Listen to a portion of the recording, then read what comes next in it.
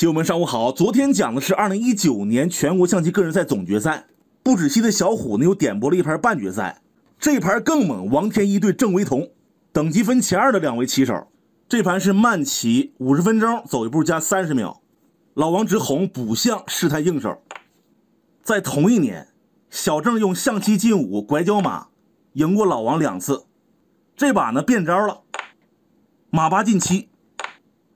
红方进三兵控制一下，黑方对挺三卒，下面正常出子，跳马屏风马单提马，横车。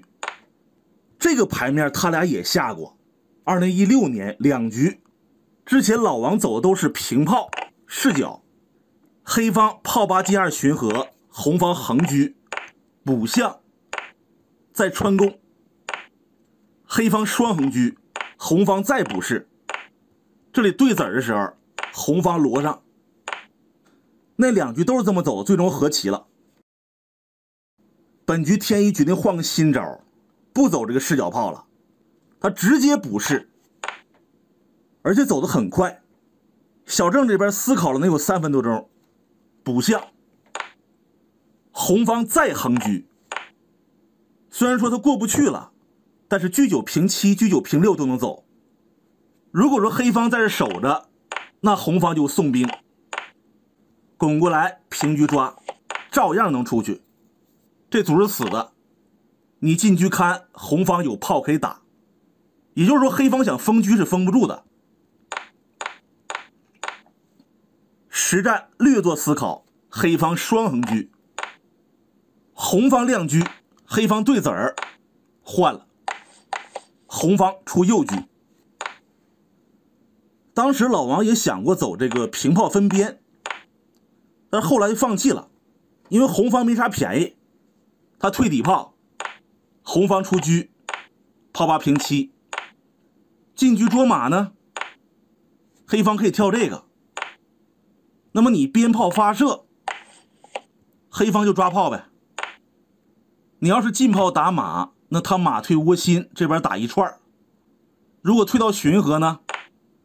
黑方简单充足活马，拱过来炮发射，下一步进马炮打车，或者说马四进三吃兵，这棋都不错。实战老王没有平炮，再这样出车，他直接拽到肋道。静观其变，看黑方咋下。少侠退个底炮，走这步，黑方随时可以平车对炮啊。或者说炮八平七，红方开始主动进攻了，冲七兵。黑方现场是进车巡河，如果吃掉红方就平炮打马，这样黑方面临多种选择。首先你直接上马，那红方肯定是打象了。黑方补士，红方再来一个炮，瞄准中象，这是第一种。第二种进车保马，这个肯定不可取。红方右炮往这一放，黑方十分难受。接下来还附有进车捉马、马三进四、踩中卒的手段，红方大优啊。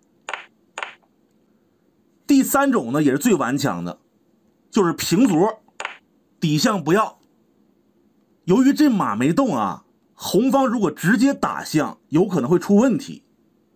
整不好被捉死，所以平卒红方肯定不会直接打，他必然会马九进七往上跳，接下来就会形成这么一个局面：黑方冲卒，红方打马，拱掉，吃，翻过来，红方在进车捉双，中象也没跟啊，他只能平车保炮，红方马三进四踩双卒。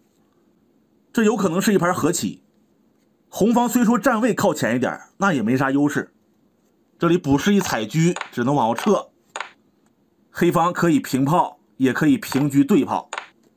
军事，刚刚咱们说了一下黑方小卒过河的变化。实战小郑车四进三巡河守着，没有问题。黑方来到这里，那红方右马踩一脚，也是必然之招。黑方平车吊住，其实不吊也行，可以直接对炮，因为后面他也是走的这步，放在这儿呢，多少有点迂回。红方进兵过河，用象飞吧，这平炮打马还是个先手，只好用车吃。红方摆脱牵制了，进马吃卒。黑方感觉压力比较大，他平车对炮，还是走的这招。躲炮的话失去先手，老王不干呢，换掉。黑方用马踩，保留巡河车。天一看了一下局面，他发现黑方马三进四这个点很不错，既可以踩中兵，而且往这一放，红方的边马也不好跳。现在黑方马上要跳了，可怎么办呢？想了一会儿，走出一步，炮八平六。这里是本局的核心部分。首先，红方这个平炮第一个作用就是上边马。黑方这里随手马三进四，走亏了。控制红方边马走位，以为他会进炮顶，不料天一炮打底士，弃子搏杀。这步棋特别的霸道，红方占优了。列位稍安勿躁，咱们来看一下正招。这招马三进四急了。马三进二肯定也不好啊，红方可以进炮别象腿踩中象呗，这也挺凶的。黑方正招应该是进炮打马，如果自己逃，那只能是往回蹦。黑方再走一个退炮，红方如果上边马，他就平炮打。这棋黑方一点事儿没有。打马，如果红方不逃。他选择进炮阻断，那这个时候黑方就可以跳出来了，踩着中兵看住边马，而且红方这里还不能去打边卒，他有个回马金枪啊，保护了中卒，踩着边炮，炮一躲就打马。好了，咱们瞧一下实战吧。此处红方炮八平六。黑方正手应该是进炮打马，实战马三进四。那么红方呢，并没有直接打，而想了几分钟，在炮六进二跟炮六进七做了一下抉择。炮六进二有点太没意思了，太俗了。老王打掉底士。接下来呢，通过一个小片段，咱们来听一下天一心中的想法。打的时候，我感觉这个棋啊，基本上是。百分之九十的可能是做和，先做和望赢啊，能不能赢呢？取决于双方最后的发挥，不好说。但是呢，我觉得这个棋呢输不了，基本上输不了。一方面呢，给对方制造了比较大的压力；另外一个，我觉得确实当时说句臭屁一点的话，我觉得这个棋走出来，如果赢了，应该呢就能成为经典。我觉得这个棋呢。作为一个有追求的棋手来说呢，这个棋哪怕冒点风险啊，你这个棋呢就必须要这么下啊。好，咱们继续啊。红方打完士之后呢，你不吃这个士也没了。小郑吃炮，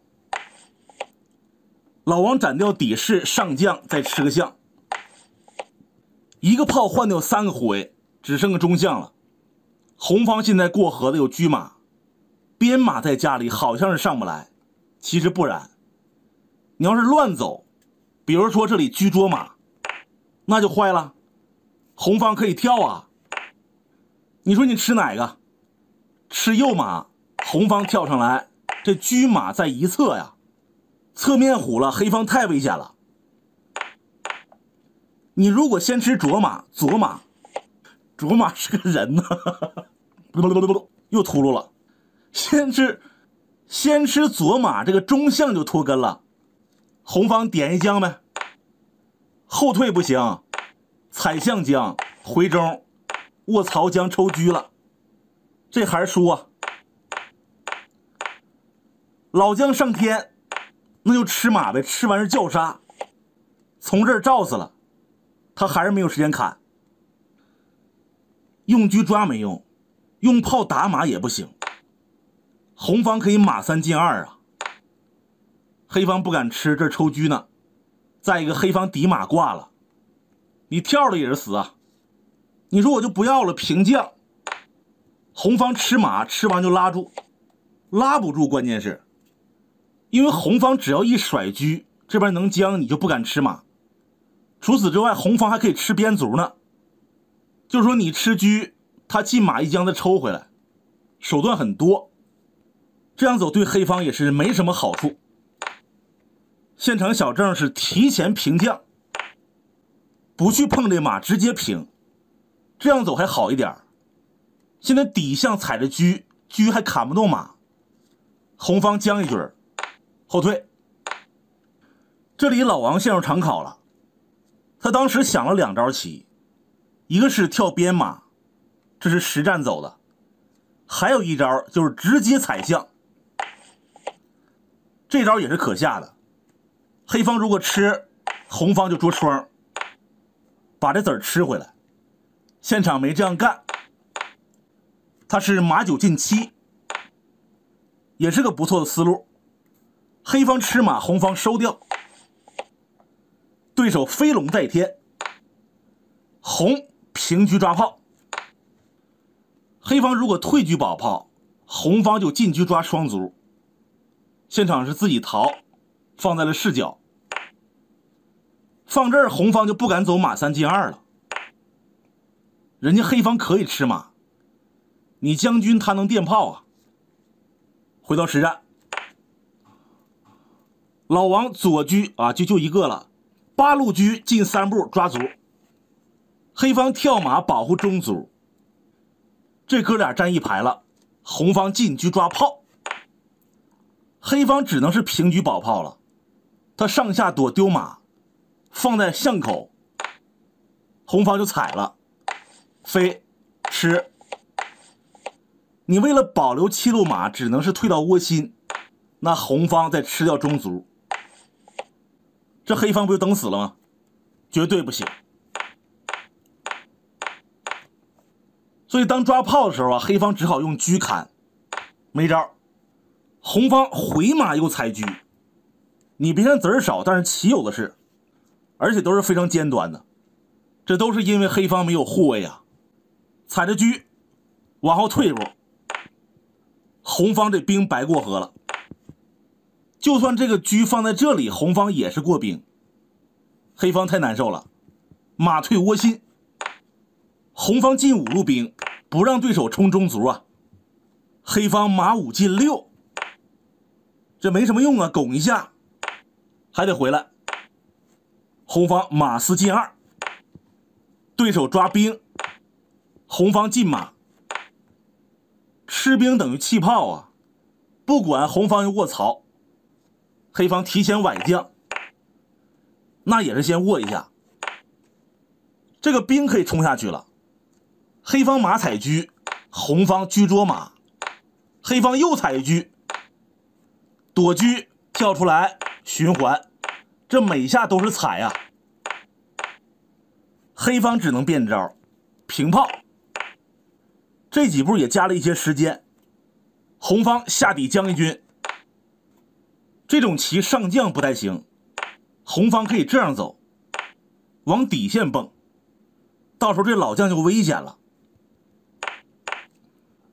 当时电炮，红方回马对子儿，要是吃了，红方是先砍炮再拱马，这不丢子吗？小郑退车。炮打底象抽车啊，红方得躲。这还对着马换掉人守不住，往上跳。红方照一下，再将进马叫杀，把车放这解杀吧。红方下底掏可以抽炮，白捡。那他直接上将，向下冲兵。这棋已经不行了，黑方炮打马，红方撞下老将。往后撤，出老帅叫杀，这眼瞅顶墙上了，黑方抬一步，红方下底将军，绝杀无解。这盘棋确实经典，老王气泡轰式强杀对手。要是没记错的话，本局黑方只有一次大子过河。好，感谢棋友们的收看，关注点赞，下期再见。